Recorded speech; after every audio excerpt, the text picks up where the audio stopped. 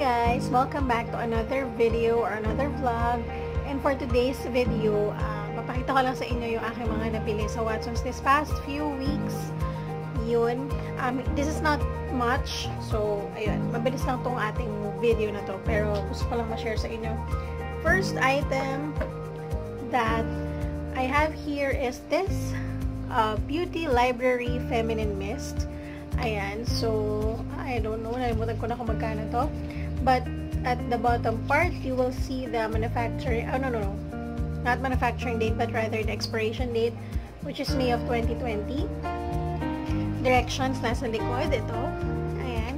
It says, shake, spritz, pat, and go.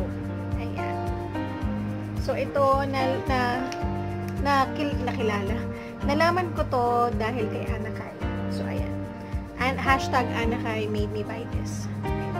Hindi ko pa ito na-open, hindi ko pa siya na-try. Try natin siya and I will update you guys about this product. Ayan.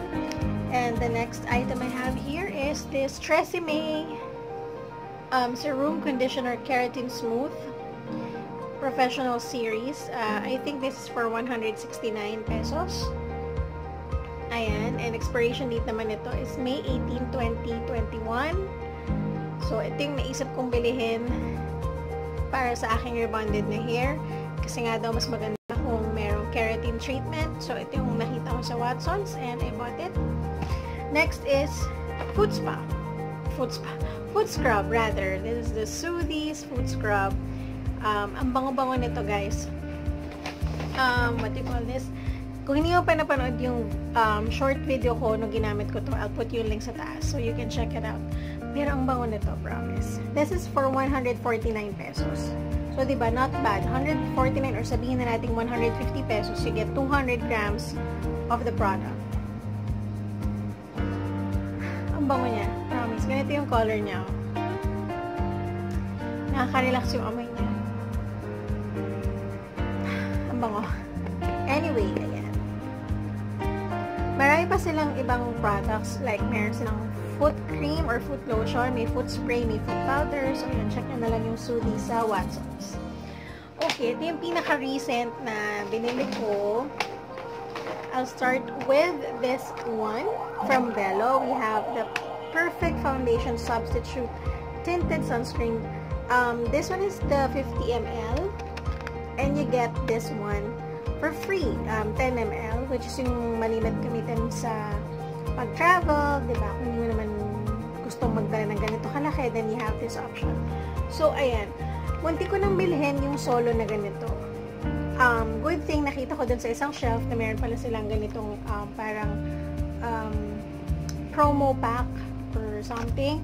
So, I got this for 450 pesos. Dalawa na yung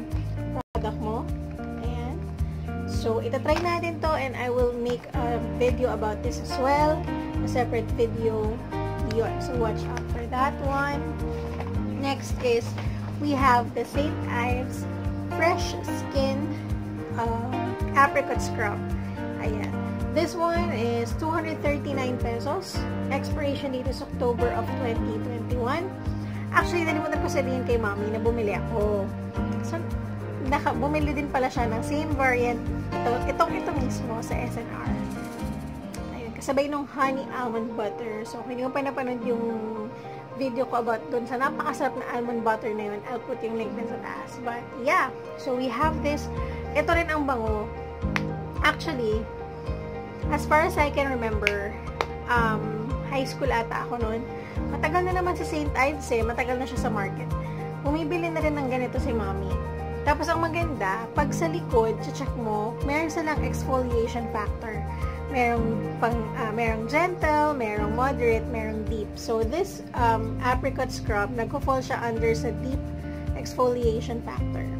So, yun. So, hindi mo naman kailangan ng sobrang deep na pang-exfoliate ng face. Then, meron silang ibang variant for gentle and moderate. Ayan. So, yun nga. Yan, abangan natin. Actually, na-try ko na yung binili namin. Ay, na-open na namin yung binili ni mommy. So, ginamit ko na siya for 2 days. And, uh, Sarap sa face, tsaka mabango. At alam mo, after mo mag-facial scrub, parang linis na linis talaga yung, yung face mo at tanggal niya lahat ng dirt. Yun. So, we're down to the last. Ano ba to? Meron pa pala. Uh, okay, stop. Yun. This one is the next item. I have the cleansing konjac konjac sponge. Um, in, I mean, yung brand is mine. If that, if that's how you pronounce that. This 100% natural konjac fiber. Perfect for both dry and sensitive skin. Ideal for people with atopic skin disorders. I'm not familiar with atopic, but yeah this is for 119 pesos and at the back there you will see the directions for use yun and you have to replace this every month. So parang ano lang din siya kung gumagamit kayo sa katawan ng uh, what you call this yung pang scrub um, loofah that's also good for one month lang. After one month you have to dispose it. So kung bibili kayo yung eco-friendly kasi 'di ba yung mga plastic? So, syempre pag tinapon mo yon yung plastic matagal siya bago ma-decompose or yung iba nga hindi pa na-decompose so yun. So yeah I will try this and I will update you. I want to make a video about this as well. So yeah. Watch out for that one. This is for Jen from Jenson um, distribution. Excuse me. Okay next. Um we have uh, this body scrub. Ayan, matagal ko nang inaay itong body scrub. Body scrub ng Watsons. Uh, the Soothing Body Scrub Green Tea Scented. So, ito yung pinili ko. Merong aloe, may coffee ata.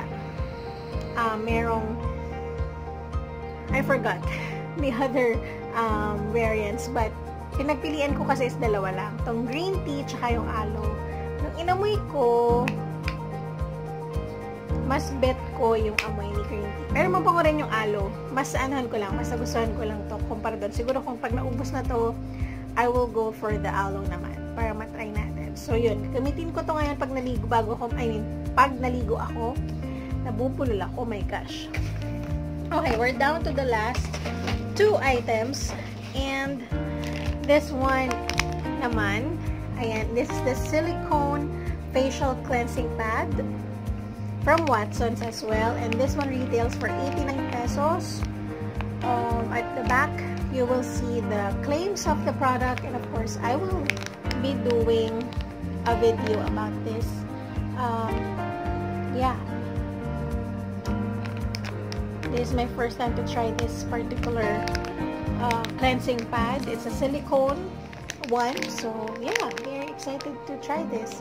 And the last item, last but not the least, is this cute little nail polish here from Sassy Colors Nail, uh, yeah, Sassy Colors Nail Polish in the shade Pink Lilac. It's only 26 pesos. Nagustuhan ko lang yung shade niya kasi nga I love lilac or lavender shade violets. Yan. So, isasama ko to dun sa aking pag-giveaway. So, please stay tuned for that giveaway. I'll be uploading it soon. So, ayun. So, ayun lang guys, yung aking napamili sa Watsons for this past few weeks. And, do not forget to subscribe to my channel if you haven't already. Please click the bell button sa baba so that every time I upload new videos, you will be notified. Ayun.